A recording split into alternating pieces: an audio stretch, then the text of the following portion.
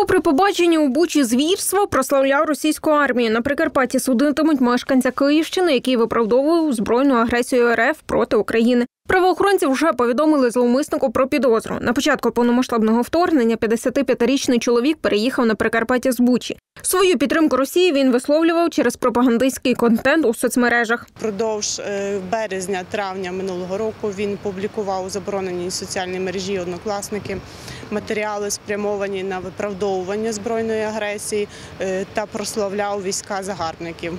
Це дописи проросійської пропаганди, в яких окупація подавалася як визволення від нацистів. Під час слідчих дій мешканця Київщини вилучили докази його злочинної діяльності, і правоохоронці вже затримали чоловіка.